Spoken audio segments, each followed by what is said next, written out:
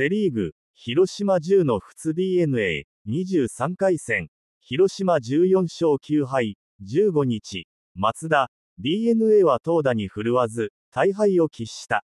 デビュー戦だった広島先発の常広にプロ初白星を献上し、三浦大輔監督、50は、大胆に投げさせてしまった、と悔やんだ。ドラフト1位の右腕に対し、最妙式を作りながら決定打を書いた。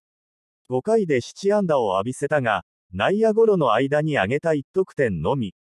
試合を通しても11安打で2得点にとどまり、14残塁の石膏だった。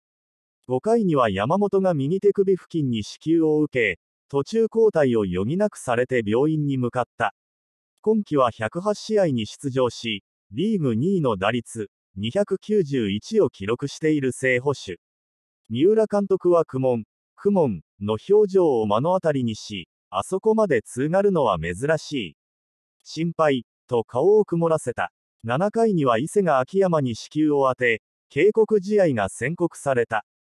3位広島との2連戦の初戦は荒れ模様となり、ゲーム差は2に広がった。16日は東を中5日で先発に立てる。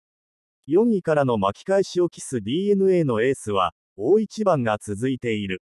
しっかり投げたい、と決意を込めた。